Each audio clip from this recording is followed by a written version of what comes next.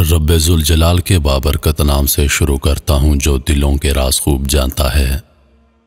तमाम नाजरीन को रोहेल वॉइस चैनल में दिल की गहराइयों से खुश आमदीद और मोहब्बतों भरा असलकुम नाजरीन, आज का हमारा मौजू, शैतान की औलाद, शैतान का कुंबा। शैतान की औलाद कौन सी है? और शैतान ने उनके ज़िम्मे कौन कौन से काम लगाए हैं? यकीनन इससे पहले आप तक ये मालूम नहीं पहुँची होंगी। मेरी आप तमाम दोस्तों से गुजारिश है कि मेरी वीडियोस को अपने दोस्तों के साथ ज़रूर शेयर करें और मेरी हौसला अफजाई के लिए कमेंट सेक्शन में अपनी राय का इजहार ज़रूर कीजिएगा। तो आइए वीडियो की जाने बढ़ते हैं।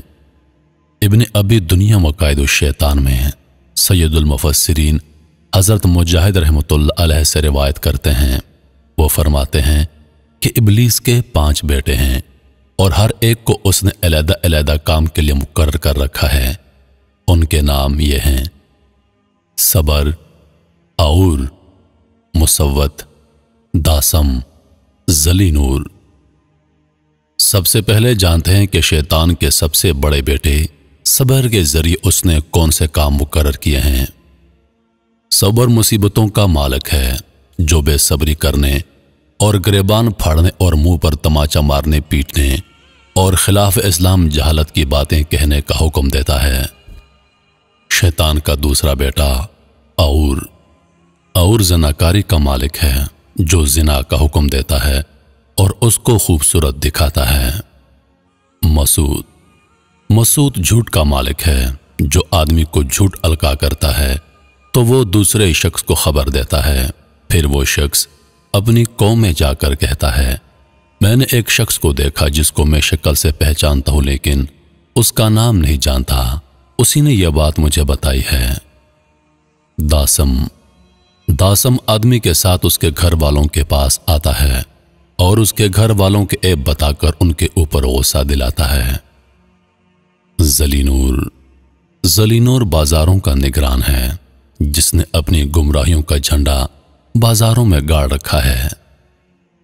जब सुबह होती है तो इबलीस अपनी शैतानी फौज ज़मीन में फैला देता है और कहता है, जो मुसलमान को गुमराह करके आएगा, मैं उसको ताज पहनाऊँगा। जब शैतानों का यह लश्कर अपने अपने फितने फैलाकर शाम के वक्त वापस आते हैं तो उनमें से एक शैतान अपना कारनामा सुनाते हुए कहता है, मैं फला आदमी के पीछे पड़ा यहाँ तक कि उसने अपनी बीवी को तलाक दे दी। अनकरीब वो दोबारा शादी कर लेगा। लिहाजा तूने बड़ा काम नहीं किया। और शैतान कहता है, मैं फला आदमी के पीछे पड़ा रहा। यहाँ तक कि उसने अपने वालदेन की नाफरमानी की तो शैतान उसके जवाब में कहता है, अनकरीब वो उनके साथ नेकी और अच्छा सलूक करेगा। तुमने कोई बड़ा काम नहीं किया। एक और शैतान कहता है, मैं फलां के पीछे पड़ा रहा। यहाँ तक कि उसने शराब पी ली। तो शैतान कहता है, तूने अच्छा काम किया। और शैतान कहता है, मैं फला आदमी के पीछे पड़ा रहा, यहाँ तक कि उसने जिना कर लिया। शैतान कहता है, तुमने भी अच्छा काम किया। फिर एक और शैतान आता है और कहता है, मैं फला शख्स के पीछे पड़ा रहा, यहाँ तक कि उसने एक शख्स को नाहक कत्ल कर डाला। शैतान कहता है, तूने ही तो काम किया है, तूने सबसे बड़ा करनाम अंजाम दिया है। शैतान कहता है, इंसान मुझ पर कैसे गालिब आ सकता है? जब वो खुश होता है तो मैं आता हूँ और उसके दिल पर मुसलत हो जाता हूँ। जब वो गुस्सा करता है तो मैं उड़कर उसके दिमाग पर सवार हो जाता हूँ। बनी इसराइल में दो आदमी रहा करते थे, जिनमें से एक बहुत इबादत गुजार और दूसरा आलिम था। शैतान ने अपने पाँचों बेटों को उनको गुमराह करने के लिए भेजा उन्होंने अपनी भरपूर कोशिश की, लेकिन वो उनको गुमराह करने में नाकाम रहे। उसके पाँचों बेटे अपने बाप शैतान के पास आए और कहा, हमने बहुत कोशिश की, लेकिन हम उनको गुमराह करने में नाकाम रहे। इबलीस मुलौन ने कहा, उनके लिए मैं अकेला ही काफ़ी हूँ। फिर इबलीस इबादत गुजार, यानी आबद शख्स के रास्ते में बैठ गया। जब आबद शख्स सामने आया, यहाँ तक कि इबलीस के करीब हुआ तो इबलीस उसके सामने बूढ़े आदमी की सूरत में खड़ा हो गया। अपने माथे पर सजदे का निशान ज़ाहिर किए हुए था। चुनानचे इबलीस ने आबद से पूछा, मेरे दिल में एक सवाल उभर रहा है। तो मैंने सोचा कि उसके मुतालक आपसे पूछ लूँ। आबिद ने कहा, पूछो, अगर मेरे इल्म में होगा तो उसका जवाब दे दूँगा। शैतान ने कहा, क्या अल्लाह अजवज इसकी ताकत रखता है? कि आसमानों, जमीनों, पहाड़ों, दरख्तों और पानी को एक अंडे में बगैर अंडे को बड़ा किए समा दे और बगैर इन मखलूक़ात को छोटा किए। आबिद ने हैरान होकर पूछा, बगैर अंडे को बड़ा और बगैर इन चीज़ों को कम किए? आबिद सोच में पड़ गया तो इबलीस ने आबद से कहा, अब आप चले जाएँ। फिर शैतान अपने बेटों की तरफ़ मुतवजो हुआ और कहा, मैंने इसको अल्लाह के मुतालिक शक में डालकर हला कर दिया। फिर इबलीस आलिम के रास्ते में बैठा। जब आलिम शैतान के सामने हुआ, यहाँ तक कि इबलीस के करीब पहुँचा तो इबलीस एहतरामन खड़ा हो गया और पूछा, ए हज़रत, मेरे दिल में एक सवाल खटक रहा है। मैंने चाह कि मैं आपसे पूछ लूँ। आलम ने फरमाया, पूछो, अगर मुझे मालूम होगा तो ज़रूर तुम्हें उसका जवाब दूँगा। इबलीस ने कहा, क्या अल्लाह ताला इसकी ताकत रखता है?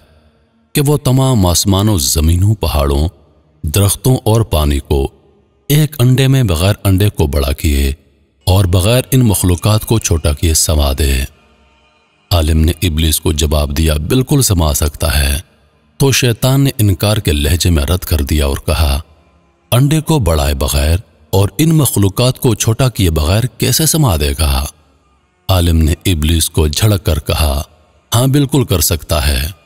फिर ये आयत करीमा तिलावत फरमाई, जिसका तर्जुमा है, अल्लाह ताला का काम तो यही है कि जब वो किसी चीज़ को चाहे उससे फरमाए हो जा तो वह फ़ौरन हो जाती है।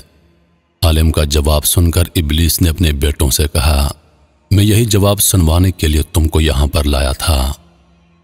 इबन अभी दुनिया मकायद शैतान में हज़रत सफवान की सनत से वो एक शेख से रिवायत करते हैं कि मोमन जब वफात पाता है तो शैतान उस मोमिन पर उसके घर के बाद अफराद से भी ज़्यादा रोता है, जिसको शैतान दुनिया में गुमराह करने में कामयाब ना हो सका हो।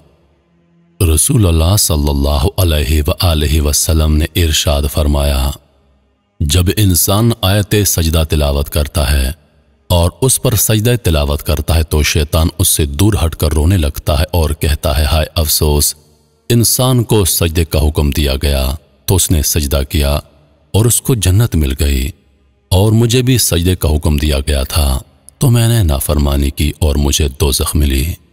अज़ीज़ दोस्तों, उम्मीद करता हूँ कि वीडियो आप दोस्तों को पसंद आई होगी। वीडियो को अपने दोस्तों के साथ ज़रूर शेयर करें और आने वाली वीडियोस के लिए हमारे चैनल को सब्सक्राइब कर दें। आपकी मोहब्बतों का शुक्रिया। अपना ढेर सारा ख्याल रखिएगा। अल्लाह हाफिज़।